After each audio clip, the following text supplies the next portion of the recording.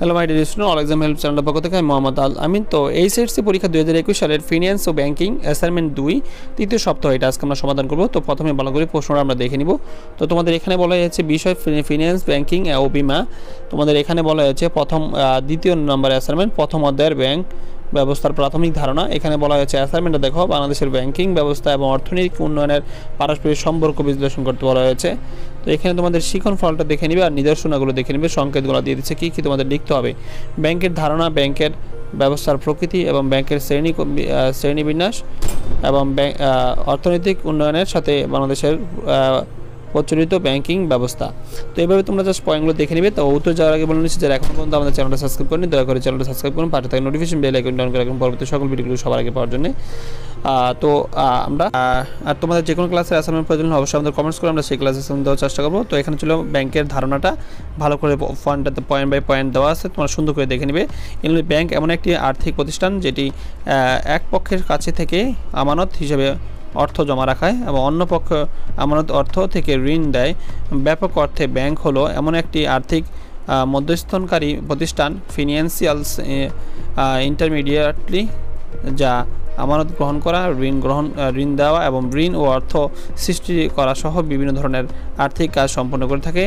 And crane cross এর মধ্যে এর মতো ব্যাংক একটি আর্থিক মধ্যস্থতাকারী প্রতিষ্ঠান যেটি ধার এবং ঋণ ব্যবস্থা করে। A bank is a financials intermediary তো জাস্ট এটা তোমরা সুন্দর করে যা দিয়েছি সুন্দর করে লিখে নিবে। এখানে বলা হচ্ছে নিচে দেখো মালিকানার ভিত্তিতে ব্যাংক চারটি। তো চারটি তোমরা সুন্দর করে দেখবে। ফার্স্ট থেকে লাস্ট পর্যন্ত সুন্দর করে প্রথম পেজটা তোমরা সমাধান করবে। তারপর আমরা চলে গেলাম দ্বিতীয় পেজে দ্বিতীয় পেজে বলেছে যে শ্রেণি আহ, শ্রেণীবিন্যাসের আলোচনা করা হলো। এখানে এক নাম্বার সরকারি ব্যাংক এখানে বলেছে সরকারি ব্যাংক গভর্নমেন্ট ব্যাংক অর্থাৎ গভর্নমেন্ট ব্যাংকগুলোর পয়েন্টগুলো তোমরা দেখে নিবে। এখানে সরকার নিজের ব্যাংক প্রতিষ্ঠা করতে পারে। কোনো কোনো ব্যাংক সরকারি মালিকানা পরিচয় পরিচালিত সংগঠিত এবং নিয়ন্ত্রিত হলে তাকে ওই দেশের সরকারি ব্যাংক বলা হয়। সরকারি ব্যাংক সরকারের নিজ উদ্যোগে প্রতিষ্ঠিত হয়। আমাদের দেশে বাংলাদেশের কৃষি ব্যাংক এবং Sonali bank, Agrani bank, Janata bank ইত্যাদি সরকারি ব্যাংক উদাহরণ।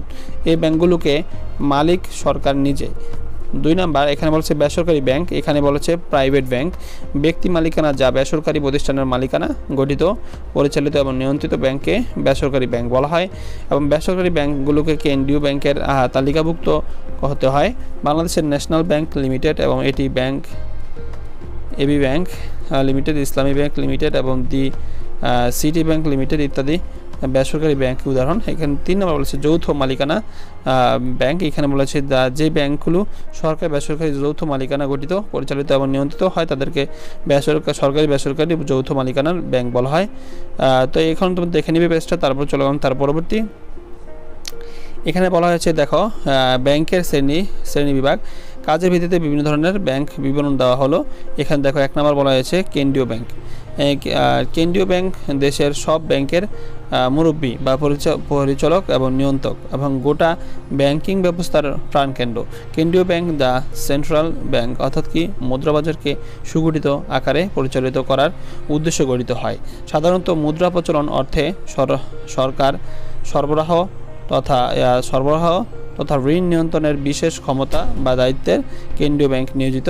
বাংলাদেশে ব্যাংক, বাংলাদেশের বাংলাদেশে বাংলাদেশ ব্যাংক এবং ইংল্যান্ডের England of England England bank ইংল্যান্ডে জাপান ব্যাংক অফ জাপান কেন্দ্রীয় ব্যাংক হিসেবে কার্যকর রয়েছে। বাণিজ্যিক ব্যাংক মুনাফা অর্জনের উদ্দেশ্যে জনগণের সঞ্চিত অর্থ আমানত হিসেবে গ্রহণ এবং সে আমানত হতে ঋণ গ্রহণ কাজে প্রতিষ্ঠিত ব্যাংকে বাণিজ্যিক ব্যাংক বলা হয়, দ্য ন্যাশনাল ব্যাংক লিমিটেড। তিন নম্বর বলেছে উন্নয়ন ব্যাংক। এটি বাংলাদেশের, এটি ব্যাংকের উদ্দেশ্য হলো বিভিন্ন খাতের খাতের উন্নয়ন করা এবং কৃষি উন্নয়নের জন্য কৃষি খাত ঋণ দেওয়া। তো এইভাবে তোমরা পয়েন্টগুলো দেখে নিবে। তার বলছে, কৃষককে বিভিন্ন মেয়াদের ঋণ প্রদান সহ অন্যান্য সুযোগ সুবিধা প্রদানের লক্ষ্যে যে ব্যাংক কাজ করে, সে তাদেরকে কৃষি ব্যাংক বলা হয়। এটি একটা বিশেষায়িত সার্থিক প্রতিষ্ঠান। বাংলাদেশের কৃষি ব্যাংক কৃষি নির্ভর দেশ। আমাদের কৃষি উন্নয়নের অনেকখানি নির্ভর করে বাংলাদেশের কৃষি ব্যাংকের দক্ষতার উপর। খ নম্বর বলছে, শিল্প ব্যাংক অর্থাৎ দেশের শিল্প খাতে উন্নয়নের লক্ষ্যে যেই ব্যাংক প্রতিষ্ঠিত তাদেরকে শিল্প ব্যাংক বলা হয় যন্ত্রপাতি সংগ্রহ, ভূমি ক্রয় এবং কারখানা নির্মাণ ইত্যাদির জন্য শিল্প ব্যাংক ঋণ প্রদান করে থাকে এবং এখানে বলা হয়েছে, বিডি বিএল, অর্থাৎ বাংলাদেশ ডেভেলপ ব্যাংক লিমিটেড। বাংলাদেশের এটি ধরনের একটা, এক ধরনের একটি ব্যাংক। এখন গ নম্বর বলছে ক্ষুদ্র এবং কুটির শিল্প ব্যাংক। এখানে তারপর ঘ নম্বরে আঞ্চলিক ব্যাংক এবং তোমাদের ছ নম্বর বলা হচ্ছে ধর্মীয় দৃষ্টিকোণের ব্যাংক। বিভিন্ন ধরনের, বিভিন্ন ধর্ম তাদের ধর্মীয় দৃষ্টিকোণ থেকে, ধর্মীয় অনুশাসন প্রকল্প থেকে ব্যাংকগুলোকে প্রতিষ্ঠিত হয় তাদের ধর্মীয় ব্যাংক বলা হয়।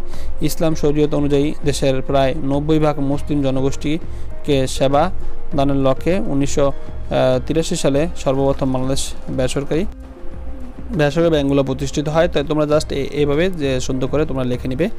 আর তোমাদের যারা এখনও পর্যন্ত আমাদের চ্যানেলটা সাবস্ক্রাইব করেনি, দয়া করে চ্যানেলটা সাবস্ক্রাইব করুন। পাশে তার নোটিফিকেশন বেল আইকনটি অন করে রাখবেন। পরবর্তী সকল ভিডিওগুলো সবার আগে পাওয়ার জন্য। বেসরকারি ব্যাংক হিসেবে ইসলামী ব্যাংক ব্যবস্থা প্রবর্তন হয়। অন্যান্য বাণিজ্যিক ব্যাংকের সাথে সেবা প্রদানের সামঞ্জস্য থাকলেও ইসলামী ব্যাংক ব্যবস্থা আমানত গ্রহণ এবং ঋণ প্রদানের নিমর বলিখিত পণ্য পণ্য এবং সেবা দেখতে পাওয়া যায়। ইসলামিক ব্যাংক বাংলাদেশের লিমিটেড এবং আল আরাফা ইসলামী ব্যাংক লিমিটেড এবং সোশ্যাল ইসলামী ব্যাংক লিমিটেড এবং Exim bank limited, Shahjalal Islami bank limited অর্থনৈতিক উন্নয়নের সাথে বাংলাদেশের প্রচলিত ব্যাংকিং ব্যবস্থার সম্পর্ক। একটি দেশের উন্নয়নে, একটি দেশের অর্থনৈতিক উন্নয়নের যে কয়টি বিশেষ উপর নির্ভরশীল ব্যাংক ব্যবস্থা তাদের মধ্যে অন্যতম গুরুত্বপূর্ণ বিষয়। পৃথিবীর অনেক দেশেই অর্থনৈতিক উন্নয়নই দেশের ব্যাংক ব্যবস্থার উপর ভিত্তি করে গড়ে উঠেছে। ব্যাংক ব্যবস্থা দেশের কৃষি, শিল্প প্রযুক্তি, বাণিজ্য সকল ক্ষেত্রেই উন্নয়নের প্রভাব বিস্তার করে থাকে। আমাদের দেশে মূলত কৃষি নির্ভর হলেও শিল্পায়ন এদেশের উন্নয়নে গুরুত্বপূর্ণ ভূমিকা পালন করে। কৃষি বা শিল্পায়ন যথার্থ উন্নয়নের জন্যেই চাই এই সকল ক্ষেত্রে ব্যাপক বিনিয়োগ এবং বাণিজ্য এবং বিশেষায়িত ব্যাংকগুলো এই সকল খাতে ব্যাপক বিনিয়োগগুলো এবং ব্যবসা বাণিজ্যের ব্যবসায়ীদের বিভিন্ন ধরনের পরামর্শ এবং সেবা প্রদানের মাধ্যমে অর্থনৈতিক উন্নয়নে ভূমিকা রেখেছে। তারপর নিচে এরকম কিছু বিশেষ ভূমিকা আলোচনা করা হলো। এখানে সঞ্চয় ব্যবস্থা বলা হয়েছে। তারপর দুই নম্বর হচ্ছে ঋণ প্রদান করা। ব্যাংকগুলোকে ক্ষুদ্র এবং মাঝারি ও বড় ব্যবসায়ী স্বল্প মেয়াদী এবং দীর্ঘমেয়াদী ঋণ দিয়ে দেশের অভ্যন্তরীণ এবং বৈদেশিক বাণিজ্য সহযোগিতা করে থাকে। তারপর তিন নম্বর বলেছে বিনি বিনিময়ের মাধ্যমে সৃষ্টি অর্থাৎ ব্যাংক বিভিন্ন ধরনের বিনিময় মাধ্যম সৃষ্টি করে ব্যাংক বিনিয়োগকে সহজ এবং ঝুঁকি ঝুঁকিমুক্ত করা খুব খুব সহজেই দেশ থেকে দেশ দেশ থেকে দেশে অল্প সময়ের ব্যবসা, ব্যবসায়িক দেনা পাওনা পরিশোধ করা সম্ভব হয়েছে। যেমন চেক পে অর্ডার্স ড্রাফটস ইত্যাদি অর্থের মতোই বিনিয়োগের মাধ্যমে হিসাব ব্যবস্থা হচ্ছে। চার নম্বর ব্যাংকের বিশেষায়ক বাংলাদেশের অর্থনৈতিক উন্নয়নের বিশেষ ধরনের বিশেষায়িত ব্যাংক বহুমুখী বিশেষায়িত সেবা দিয়ে থাকে।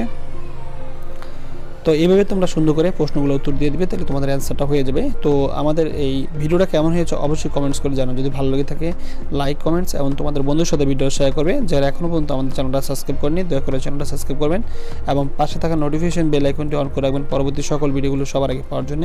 আর আপনাদের যে কোনো ক্লাসের অ্যাসাইনমেন্ট প্রয়োজন অবশ্যই আমাদের কমেন্টস করবে, আমরা সেই ক্লাসের অ্যাসাইনমেন্ট দেওয়ার চেষ্টা করব। তো আজ এই পর্যন্তই, পরবর্তী ভিডিওতে আবারও দেখা হবে। আল্লাহ হাফিজ।